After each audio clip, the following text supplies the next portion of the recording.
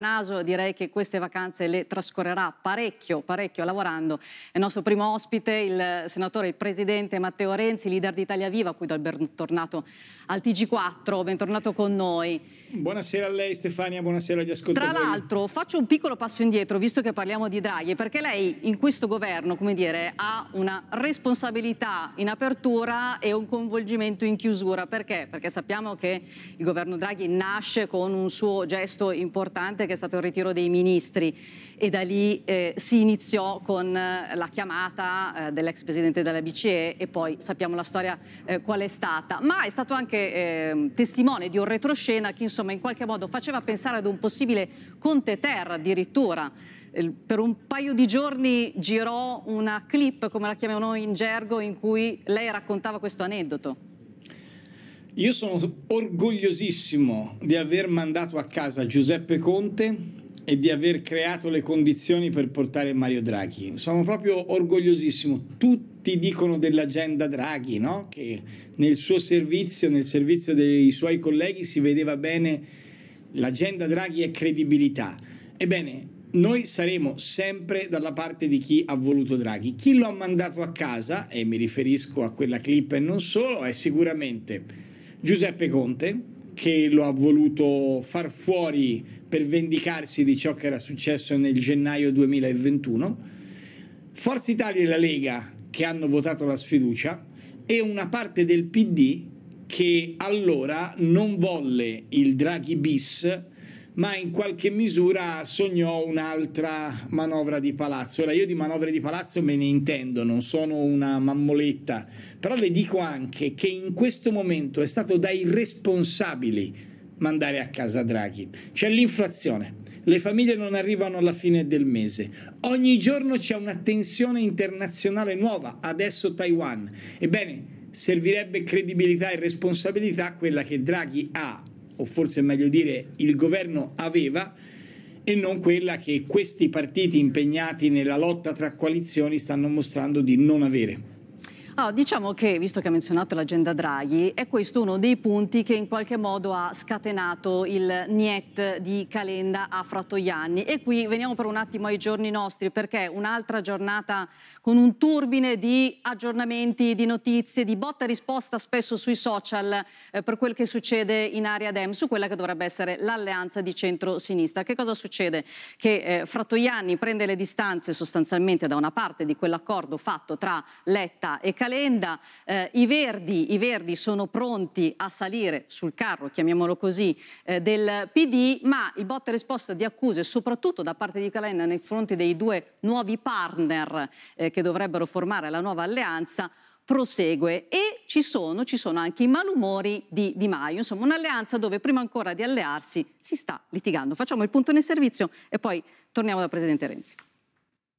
La situazione tesa per tutta la giornata precipita nel pomeriggio quando le agenzie battono questo flash nuovo incontro Calenda Letta, un incontro quanto mai necessario dopo l'agitazione delle ultime ore, ma riavvolgiamo il nastro.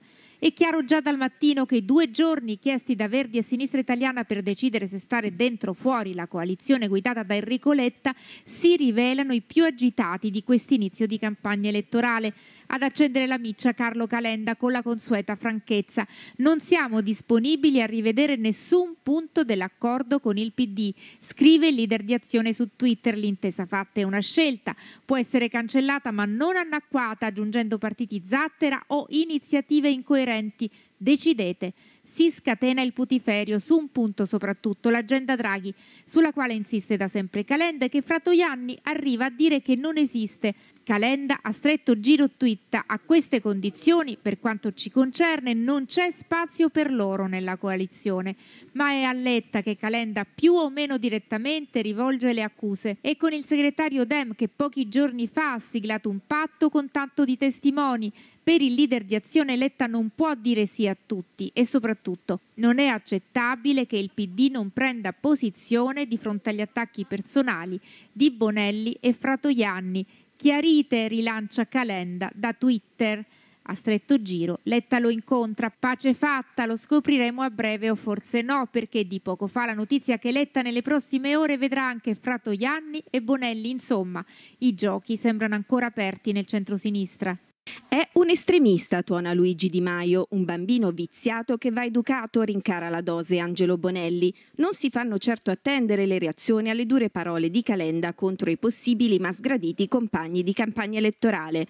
Il ministro degli esteri continua a chiedere più rispetto e meno arroganza. Vuole essere il gregario del centro-sinistra, ma con il suo atteggiamento sta disgregando la coalizione ancora prima che si formi. Basta critiche e attacchi reciproci, così salta tutto, rincara la dose Tabacci. Stesse parole dal fronte rosso-verde. Intanto sinistra italiana, in attesa di un segnale chiaro dai Dem, lascerà ai propri iscritti l'ultima parola sull'alleanza. Mentre i Verdi chiudono ai 5 Stelle ritenendo l'unica alleanza percorribile quella con il PD. A cercare di riportare alla calma è Dario Franceschini, Calenda, Fratoianni, fermatevi, accettate le diversità, l'appello accorato su Twitter. E in molti dal Partito Democratico chiedono a Calenda di non disfare la tela che Enrico Letta sta faticosamente tessendo, rinnovando l'appello al campo largo. È nostra precisa responsabilità aggregare tutte le forze civiche e politiche su una moderna idea d'Europa, sulla certezza del lavoro e soprattutto sui diritti civili e sociali. Facciamo appello a tutte le forze politiche di essere unite e di anteporre gli interessi degli italiani davanti agli interessi dei singoli partiti. Una nota di ironia in questo clima di veti incrociati arriva da Matteo Orfini. Un hacker che manda in down Twitter per tre giorni lo abbiamo? Così magari riusciamo a completare la coalizione senza drammi. L'aggiornamento è che i Verdi hanno appena detto sì all'alleanza col PD, quindi manca sinistra italiana con Fratoiani. Vedremo che cosa succederà. Perché c'è una lavatrice alle mie spalle? Perché in questa campagna elettorale c'è spazio anche per un po' di ironia. Questo è il video che ha pubblicato eh, la moglie di Calenda Violante, insegnando al marito evidentemente come si fa eh, una lavatrice che poi ha commentato dicendo sono qui che cerco di battermi per guidare il paese, ma mia moglie non mi reputa nemmeno capace di fare un bucato. Allora, ironia a parte, torniamo seri. Eh, per tornare dal Presidente Renzi, questo è il titolo del colloquio, un'intervista, colloquio con Letta del Messaggero, un dovere stare insieme ma faremo accordi separati. Io credo, eh, Renzi, che sia simbolico di quella che è la percezione di cosa sta accadendo in questo tentativo di alleanza. Allora, comanda Letta, comanda Calenda, chi segna la rotta e soprattutto qual è la rotta, perché è tutto com molto confuso prima ancora di cominciare. Lei li conosce meglio, quindi magari ci può aiutare a capire cosa succederà. L'unica cosa che io ho capito è che io con questa gente non ci posso stare. Eh, noi non stiamo dentro questa coalizione perché tra una lavatrice e una polemica interna discutono di tutto tranne che dei problemi degli italiani. Abbiamo l'inflazione ai livelli più alti da tanti anni questo vuol dire che la gente non arriva alla fine del mese e quando va a fare il pieno o a fare la spesa non ha i soldi sufficienti. Abbiamo una situazione energetica di crisi senza precedenti. Abbiamo un potenziale problema legato sia agli effetti dell'immigrazione che di quello che viene chiamata la sostenibilità ambientale. Bene, noi stiamo dando delle risposte. Noi diciamo, siamo gli unici a parlare ancora di sanità e diciamo prendiamo i soldi del MES 37 miliardi di euro per la sanità. E invece loro di cosa parlano?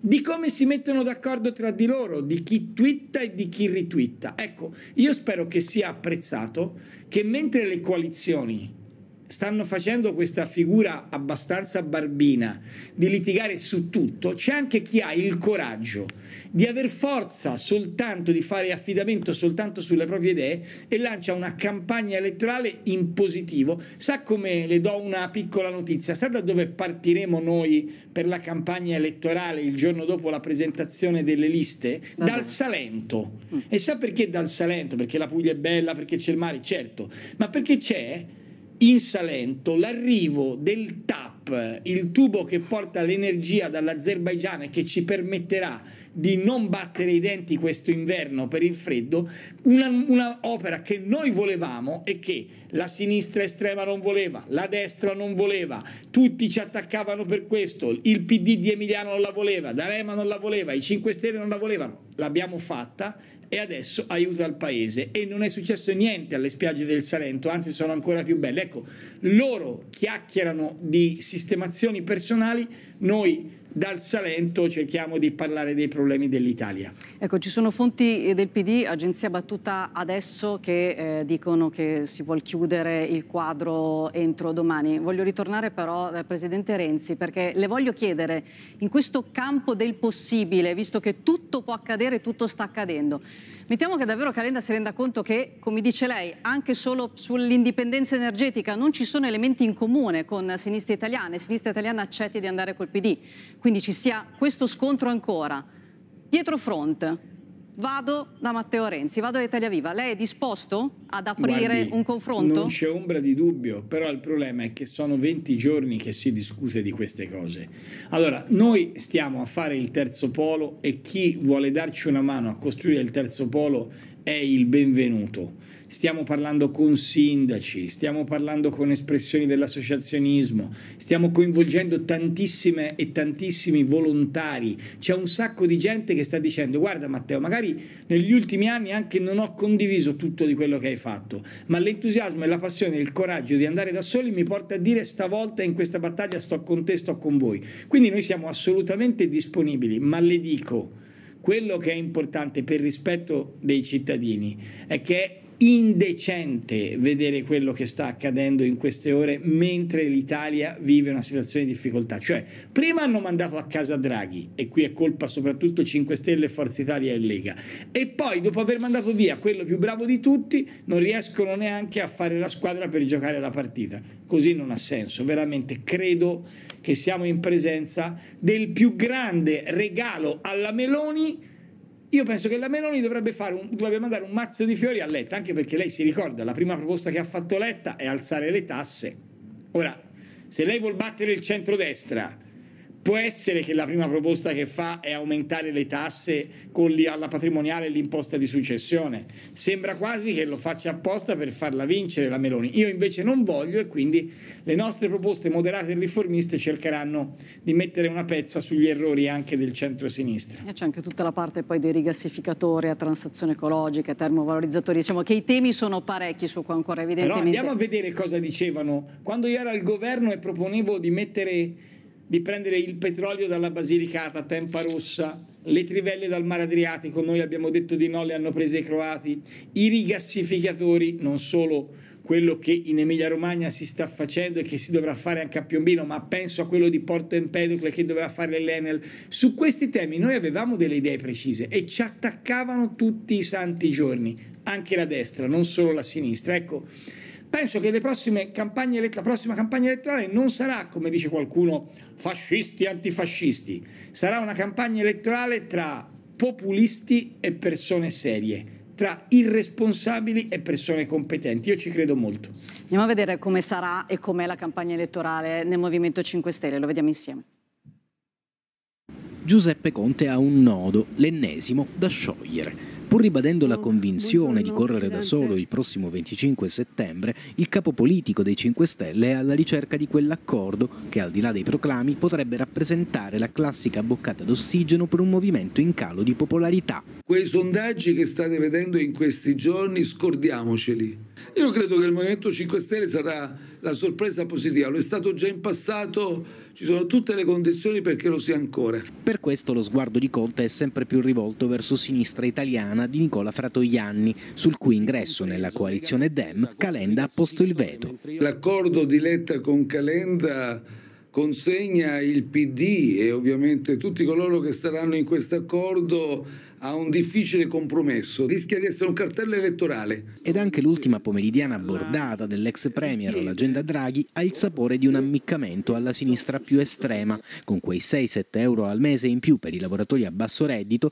definiti nient'altro che un'elemosina. Qualsiasi sarà la strada del movimento, su una cosa Conte è determinato, mai più Calderoni o melasse di governo. Siamo già usciti e stiamo uscendo da un governo di larghe intese e abbiamo visto che queste larghe intese poi rischiano di produrre uno stallo e poi di franare. Appena cominciata la gara delle parlamentari nei 5 Stelle è subito scontro. Da oggi a lunedì il via alle autocandidature, il voto online degli iscritti forse il 16 agosto. Giuseppe Conte ostenta rigore, nessuna deroga sul tetto del doppio mandato neanche per Virginia Raggi, ma lei, che alle Camere non è mai stata eletta, lo sfida. Le liste si fanno alla luce del sole, sibila via social, e devono essere aperte aperte a tutti, espressione del territorio, perché il movimento non può diventare un tram per portare in Parlamento gli amici degli amici. La critica è a tutto campo, anche sull'alleanza con il PD. Le risponde la sua nemica di sempre, Roberta Lombardi, meglio il dialogo con il centro-sinistra che l'irrilevanza ai cittadini la attacca, ti hanno mandato a casa. Nella trattativa con Grillo il leader ha ottenuto di poter scegliere i capilista per garantire un posto ai fedelissimi. Anche il regolamento è stato ritoccato come nel principio di territorialità per non impedire la corsa di big come Chiara Appendino, Stefano Patuanelli, il portavoce Rocco Casalino e Alessandro Di Battista. Un caso a parte, quello dell'ex tribuno, è stato il garante in persona ad indicarlo come la carta vincente per un movimento che punta a tornare ai valori delle origini, ma lui pianta paletti e pone condizioni. Conte non può non aprire il suo ritorno giorno, ma lo teme. E l'avvocato Borrell, autore dei ricorsi contro il movimento, osserva come nello statuto non ci sia nulla sul potere del leader di scegliere il capilista. All'orizzonte si intravede la nascita di un asse anticonte al quale potrebbe iscriversi anche De Magistris. L'ex sindaco di Napoli chiude oggi ad un'alleanza con i 5 Stelle bollando il leader come parte del sistema e guarda invece a Di Battista che ora tace come pure Beppe Grillo. Che fine fa Conte e il Movimento 5 Stelle? Qual è il destino? Ma Conte e il Movimento 5 Stelle hanno, beh, in questi anni hanno fatto tutto il contrario di tutti. Conte è stato prima con la Lega, poi con la sinistra, poi ha appoggiato Draghi, poi l'ha mandato a casa. Quindi parlare di Conte e di coerenza nella stessa frase è praticamente impossibile. E tuttavia penso che ci sarà ancora una parte dei cittadini che voterà il voto di protesta del Movimento 5 Stelle non so se Di Battista fa in tempo a tornare dalla Siberia e non so quali saranno i candidati che avranno. Io penso che questi anni abbiano dimostrato che il Movimento 5 Stelle doveva abolire la povertà e la povertà è aumentata, doveva bloccare il TAP e il TAP è partito, doveva cambiare le regole del lavoro e non è cambiato niente, quindi facciano loro. Ecco, il Movimento 5 Stelle serve a quelli come me per dire che noi siamo esattamente l'opposto. Loro sono per il reddito di cittadinanza? Bene, io sono per dare più soldi a chi lavora, non a permettere le truffe come quelle del reddito di cittadinanza, perché è vero che qualcuno ne ha veramente bisogno, ma c'è un sacco di gente che sta lucrando sugli italiani per bene. E guardi strano, a destra c'è Salvini che il reddito di cittadinanza l'ha votato, col PD si candida Di Maio anche questa è abbastanza e non ridicola. è detto però, eh? non è detto perché Vabbè, qua... comunque sta nel centro-sinistra e poi c'è Conte, l'unico schieramento che non vuole il reddito di cittadinanza per come l'abbiamo visto non funzionare siamo noi, insomma Movimento 5 Stelle ha detto tutto e il contrario di tutto noi siamo esattamente l'opposto perché pensiamo che ci vogliano persone serie e non populisti che giocano a chi la spara più grossa. Allora richiamo anche un tweet di qualche ora fa, visto che questa campagna, lei l'ha anticipato poco fa, è molto social in questo momento, in cui sostanzialmente la frase è non abbiamo scelto la solitudine, abbiamo scelto la libertà. Ora le chiedo, in questa campagna che Orfini poco fa ha chiesto ma speriamo che ci sia un Twitter down per 48 ore così si chiude l'accordo con, con, il PD perché molte delle tensioni passano dai social. Quanto pesa il, la schermaglia legata al trattare sulle poltrone? Domanda. È sempre stato così, si è sempre fatto discussioni sulle poltrone, però mi lasci dire che almeno con la Prima Repubblica i vecchi politici avevano il buon gusto di discutere anche un po' di programmi. Invece qui proprio sembra che non gliene freghi niente a nessuno. Io ho lanciato la cosa che dicevo prima del MES 37 miliardi, ma potrei dirle dozzine di altre ipotesi, da quella dell'abolizione dell'IRAP fino al lavoro che stiamo facendo molto faticoso ma importante sulla cultura, sulla scuola, sui teatri, sui musei. Bene, tutte le proposte che noi lanciamo non è che ricevono dall'altra parte una critica o no, dall'altra parte sono a discutere sette a te, tre a me io vado in tv, tu vai su internet. È veramente una cosa meschina e anche, mi lasci dire, un po' triste. Ora io non sono un giovanottino di primo pelo che fa finta di scandalizzarsi. Io ho fatto anche tante battaglie politiche, qualcuna persino macchiavellica, però non ho mai visto un livello così basso della discussione. Il mio è un appello. La situazione è seria, ci vogliono politici seri. Non mandate avanti quelli simpatici, perché il vero voto utile è mandare persone competenti in Parlamento. Le faccio l'ultima domanda, visto che prima le ho fatto vedere la clip della lavatrice che veniva eh, indicata, veniva indicato il percorso per Calenda. Intanto voglio sapere se lei fa le lavatrici, se no, è no, autonomo. Io, io sono, quando, tutte le volte che ci provo sbaglio e le magliette che sono bianche diventano azzurre e viceversa, no, viceversa no. Però insomma me la cavo meglio con la lavastoviglie. Ma adesso che colore sceglierebbe se dovesse fare un bucato? L'unico colore che io ho nel cuore è il viola della Fiorentina, però se me la butta in politica gli dico che mai come in questo momento non funziona né il rosso né il nero. Il nero fa paura ai moderati, il troppo rosso fa paura ai riformisti. Per questo c'è uno spazio centrale e questo spazio centrale è quello che copriremo noi di Italia Viva. Il blu come l'Italia. Grazie a Matteo Renzi, leader di Italia Viva, senatore. Grazie a voi. Ci vediamo prestissimo al TG4, buon lavoro a questo punto, buona campagna elettorale per le prossime settimane. Grazie per essere stato con noi. Buona allora, estate a tutti.